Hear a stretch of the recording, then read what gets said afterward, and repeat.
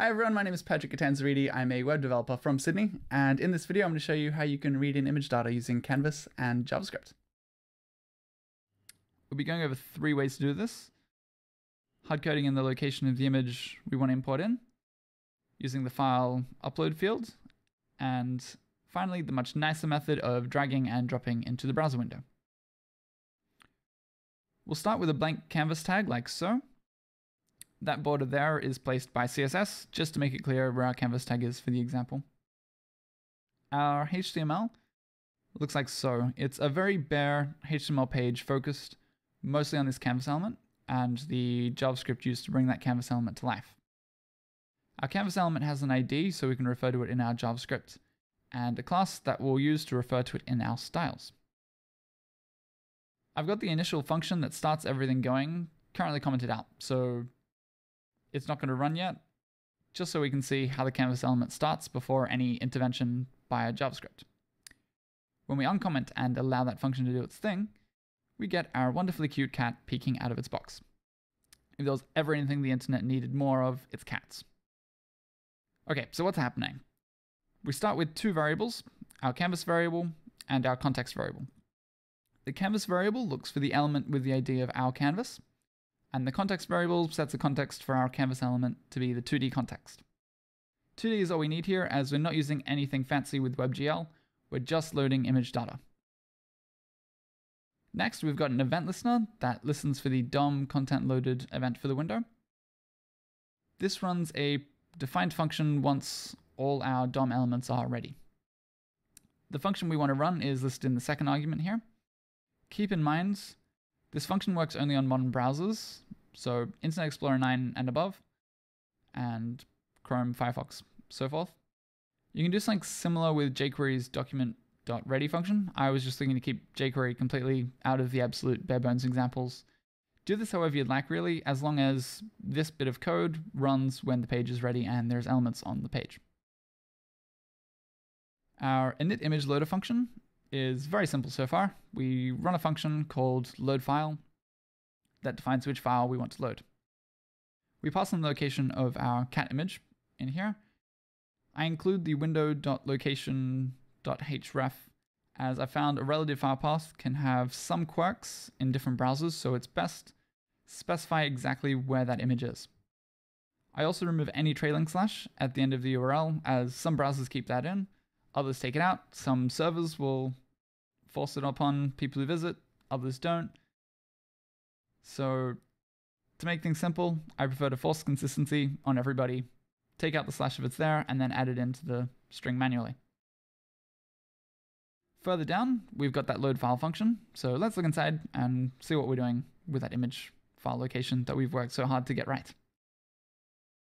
It starts with the temp image store variable in which we store a new image object.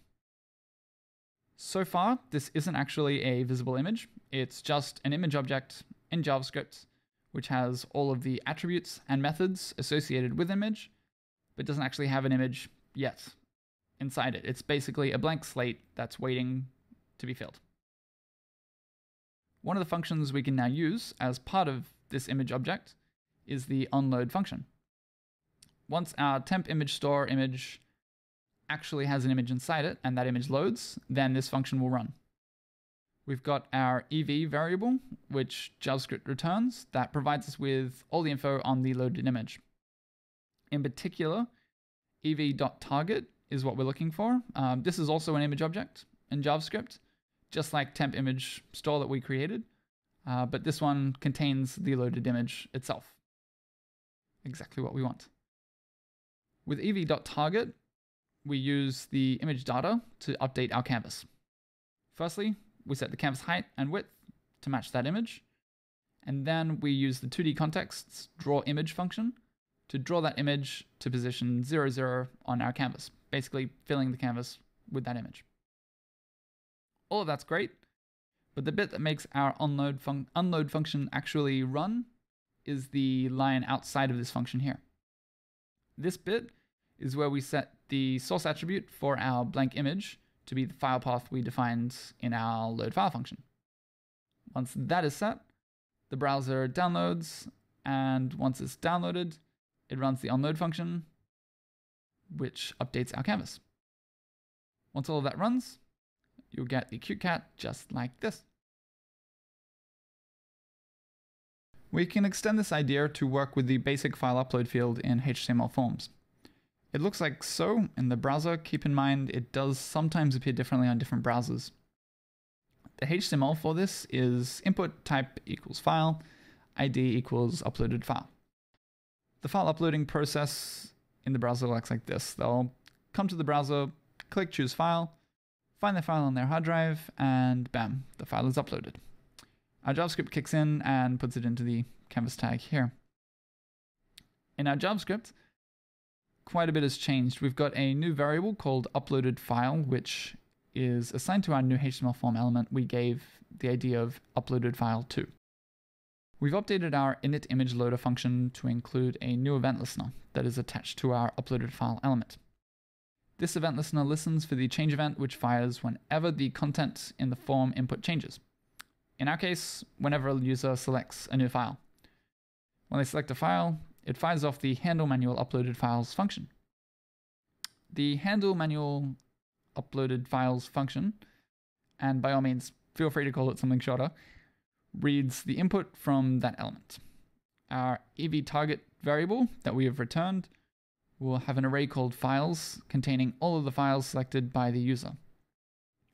We only want one file at a time, so we're going to keep things simple by only ever selecting the very first file found here. We pass that file object into a handle file function, which is where we'll actually use that file. In that handle file function, we start by defining a regular expression that looks for a string that starts with image dot.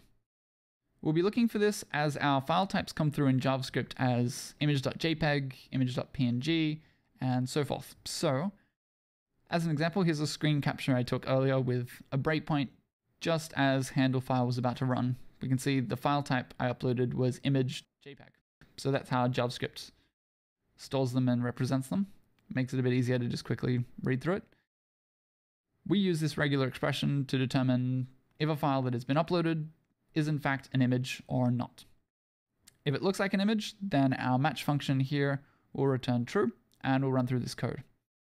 There are very likely more advanced and more thorough, more secure ways of checking that a file is genuinely an image. However, for this tutorial, I'm going to stick to a very quick check like this one. If you want to get a little more in depth with it, by all means, go ahead, look into new and more thorough ways. But for a quick example, we're going to stick with the basics. If we do have an image, then we use the file reader JavaScript object to read in the image that the user has uploaded. This file reader object uh, is just an object which lets web apps read the contents of files on a user's computer. We'll assign one to the reader variable so we can use it. The pattern here is actually very similar to our earlier on load example. We're using the same code as when we loaded the image before. This time though, we're surrounding it with a reader.onloadEnd function that will run once the image file has loaded. To load the image file into our JavaScript so it can be used, we use the read as data URL function that we attach onto the reader variable. Once it has finished loading our file, then the onload end function is called, which creates a temporary image object, putting it into the canvas, just like our previous example. When all this works as expected, the user clicks onto choose file, finds their cat picture, and sees the uploaded cat picture as expected. Uploading files by making someone click a button and hunt through their file system is a bit old school. People expect to be able to drag and drop between windows these days. Let's just give them that option. It'll look something like this.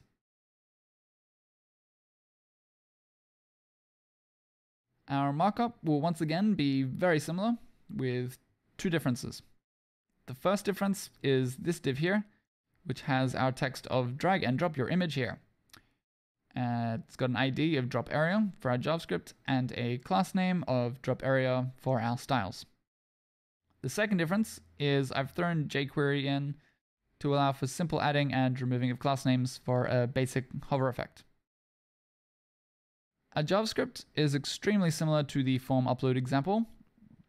We start out with the same variables and our load event listener is exactly the same. However, our init image loader has changed to include all of our drag and drop functionality. We add three new event listeners, one for when someone drags over the drop area element, one for when they drag away from that element, and one for when they drop something onto that element. In each case, we're just adding and removing a class so we can visually show the user that they're dragging it into the right spot. If we go to the example and we drag a file over into that spot, as you can see, that's what it looks like. We drag it over, it gets the drag over class and turns green. If we drag it away, it loses that class and goes back to normal. We also add a new event listener for the drag over event to the window itself. We just tell the browser not to try to do any of its default behaviors while we're hovering our file over the element. The bit which does the important stuff is next. We add an event listener for the drop element on the window. If someone drops a file onto the window, we read in the data found. Within JavaScript, it then sees this data in the data transfer object. That will contain all the info about our dragged in file.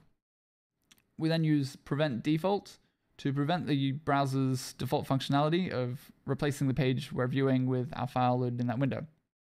Basically, if you drag in a file into a browser window, by default, the browser wants to load that file in that window. We don't want that. Definitely don't want that to happen when we drag the file in. So make sure you've got prevent default in there to stop that. Just like our upload form, we only pass a single file object to our handle file function. From that point, the code is exactly the same as the previous example. We've just pulled in the file information from their file system using a different method. Because they're both so similar, it's very simple and very common to implement both the form upload and the drag and drop functionality to cater for users who prefer clicking to upload and for users who prefer drag and drop. Make everybody happy. Our drag and drop code in action looks like so. Our happily dragged and dropped cat remains safely duplicated within our canvas element when we drop it in. As you might have noticed, we've got the dragging and dropping happening on the window element and not on the actual drag and drop area that we defined. I do this just because if somebody slightly misses the element or they don't fully understand, there's no harm in just letting them drag it into any spot on the window for it to work. So I like to just make it idiot proof basically. They drag it into the window, it'll upload. And that, my friends, is how you can read it image data using the canvas tag and JavaScript. If you've liked this and you'd really like to take it further, that was just a sample of my course on manipulating and using images and video using HTML5 and JavaScript on Learnable. So definitely head over to Learnable and you can find out a whole heap of other stuff that you can do using HTML5, Canvas, and JavaScript. See you there. Thanks for watching.